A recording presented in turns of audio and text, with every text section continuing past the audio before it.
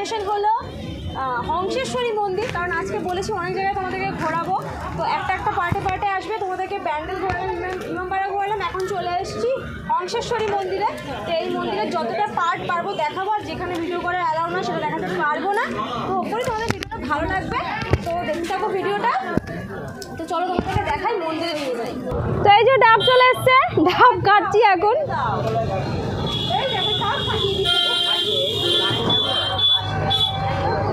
ডাব খাওয়ার, ঘুরতে বেরিয়ে ডাব খাওয়ার মজাই কিন্তু আলাদা। এখন ডাব খেয়ে নিয়ে আবার ভিডিওতে ব্যাক করছি, চলো। এখন মন্দিরের মধ্যে চলে এসেছি। তো মন্দিরটা তোমাদেরকে বাইরে থেকে দেখাবো, আর ভেতর থেকে জানি না কতটা ভিডিও করা অ্যালাউ হবে। তো বাইরে থেকে আপাতত দেখে নাও মন্দিরটা কেমন লাগছে দেখতে। খুব সুন্দর খুব সুন্দর মন্দির রেনোভেশনের কাজ চলছে এখন। বুঝতেই পারছ অনেক পুরনো যেহেতু এইসব জিনিসগুলো, সেই জন্য একটু এগুলোকে ঠিক করতে হয়, মাঝে সাঝে একটু রিপেয়ারিং হয়, এগুলোর রিনোভেশন হয়। তো তোমাদেরকে চলো দেখাই মন্দিরটা বাইরে থেকে।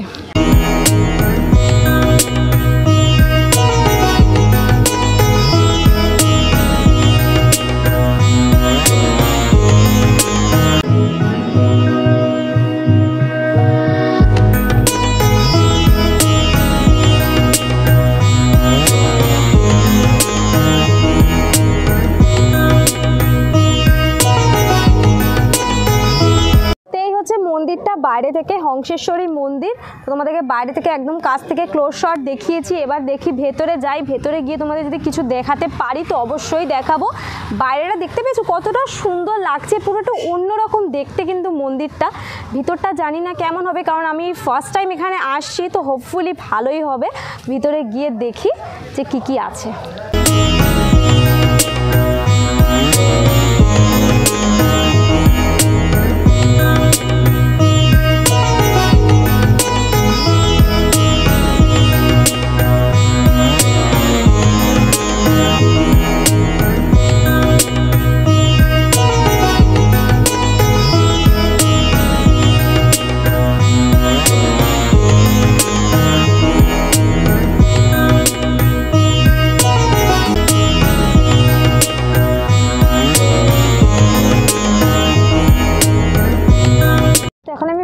মন্দিরের পেছন দিকটায় চলে এসেছি।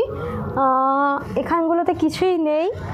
সেরকমভাবে দেখার, যেহেতু এটা ব্যাক সাইড এখানে শুধু ছোট ছোট কিছু ঘর টাইপের করা আছে।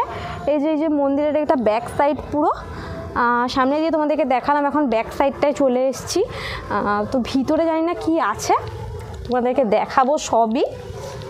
তো এখানে সব ছোট ছোট খালি ঘর, দরজা করে রাখা আছে, ভিতর, দরজাগুলো তালা দেওয়া। ভিতরে কিছু আছে কিনা সেটা জানি না, কিন্তু দরজাগুলো বন্ধ। লিঙ্গ পেয়ে গেছি। একটা ঘরের মধ্যে শিবলিঙ্গ আছে। এখানে সবাই পুজো টুজো দেয়, ফুল রাখা আছে, ফুল দিয়ে সাজানো আছে। শিবলিঙ্গটাকে পাশ দিয়ে দেখাচ্ছি তোমাদের। এই যে দেখো, এই হচ্ছে শিবলিঙ্গটা এখানে রাখা।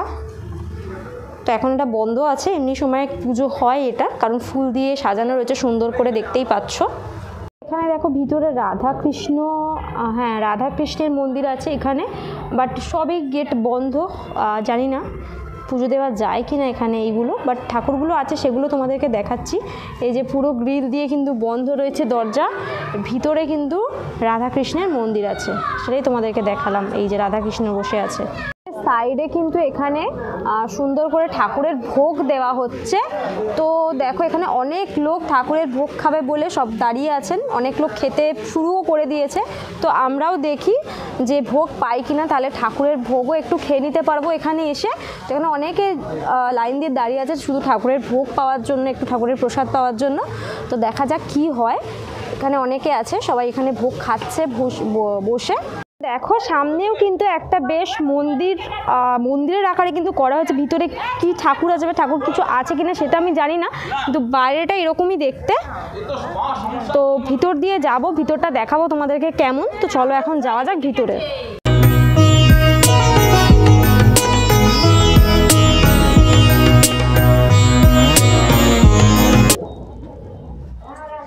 এই হচ্ছে সিঁড়ি সিঁড়ি দিয়ে উপরে উঠছি। এই হচ্ছে মন্দিরটা। ভিতরে কি ঠাকুর আছে আমি জানি না। তো আগে পুরোটা ঘুরিয়ে তোমাদেরকে দেখাই, চলো। আর উপরে লাইট লাগানো আছে চেন লাইট এই লাইটগুলো হোপফুলি রাত্রিরে জ্বলবে। হ্যাঁ অবভিয়াসলি দিনের বেলা জ্বলবে না। এখানে ভীষণ সুন্দর করে কিন্তু দেওয়ালগুলোতে ভীষণ সুন্দর করে ওয়ার্ক করা রয়েছে। দেখো কেটে কেটে কেটে কেটে বেশ সুন্দর করে কিন্তু থাম্বাগুলো, স্তম্ভ যেগুলো বলে সেগুলো কিন্তু বানানো হয়েছে। এখানে কিন্তু নারায়ণ আছেন। নারায়ণ ঠাকুর, দেখো ভিতরে। নারায়ণ ঠাকুর আছে, নারায়ণ ঠাকুরেরই পুজো হয় এখানে। এই হচ্ছে ভিতরটা, সবে কিন্তু এখন বন্ধ আছে। কোনোটাই এখন ওপেন নেই। জানি না ওপেন হবে কি না বা কখন ওপেন হয় সেটাও আমি জানি না। যদি ওপেন হয় তাহলে তোমাদেরকে সব দেখাবো ভিতর থেকে। তো এই হচ্ছে নারায়ণ ঠাকুর যেটা এখন বন্ধ আছে।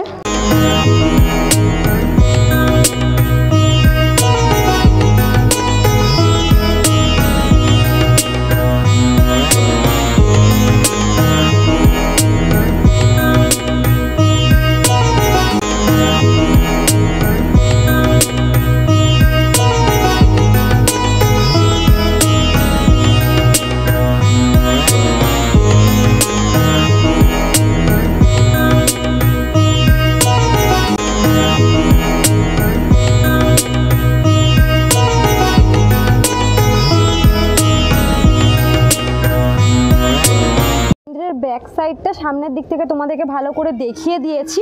প্রচণ্ড রোদ, আমি তাকাতে পারছি না ঠিকঠাক। তো তো ভিতর দিকটা, সামনের দিকটা তোমাদেরকে পুরো দেখিয়ে দিয়েছি। এখানে অনেক সুন্দর দেওয়ালে খোদাই করে সেই মূর্তি টাইপের করা আছে। সেগুলোও দেখিয়েছি, ডিজাইনগুলোও দেখিয়েছি তোমাদেরকে সামনে থেকে। আর আর কিছু বেসিক্যালি এখানে দেখানোর নেই। সামনে থেকে সব দেখিয়েছি তোমাদেরকে। তো হোপফুলি তোমরা সব দেখতে পেয়েছ। এই যে আবার ঘুরে ঘুরে সামনে চলে এলাম। এই যে চেন লাইটগুলো উপরে ঝুলছে, যেগুলো তোমাদেরকে একটু আগে আমি দেখিয়ে গেছি। তো সেইগুলো পুরো এক পাক ঘুরে আমি চলে এলাম আর ভিতরে যে নারায়ণ ঠাকুরের মন্দিরটা আছে সেটাও তোমাদেরকে দেখালাম। আর মেন মন্দিরটাও তো তোমাদেরকে দেখালাম, তবে মেন মন্দিরের ভিতরে দরজাটা এখনও খোলেনি। জানি না ওটা কখন খুলবে, বলছে একটার পর একটা বেজে গেছে বাট টিল নাও ওরা খোলেনি।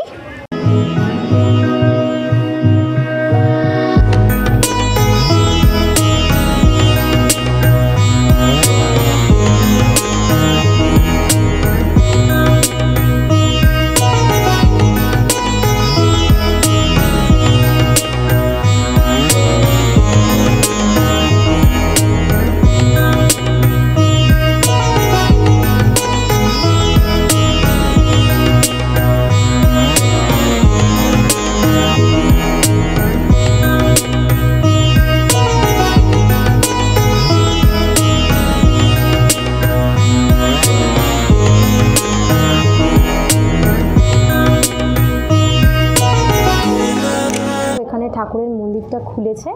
এই হচ্ছে ভিতরটা। মা হংসেশ্বরী এখানে বসে আছেন। তুমি বেশি ভিডিও এখানে করতে পারব না, কারণ অতটা অ্যালাউ নয়। তো আমি অল্প অল্প তোমাদেরকে ক্লোজ শট একটু একটু দেখিয়ে দিয়েছি আর বলে দিলাম, এই হচ্ছে ঠাকুরের মেন মূর্তিটা, যেটা পুজো হয় এখানে ভিতরে। এই বাইরেটা পুরো আগেই তোমাদেরকে ভালো করে ক্লোজ শট করে একদম দেখিয়ে দিয়েছি কাছ থেকে। আর এই হচ্ছে মেন ঠাকুরটা, হংসেশ্বরী মাতা।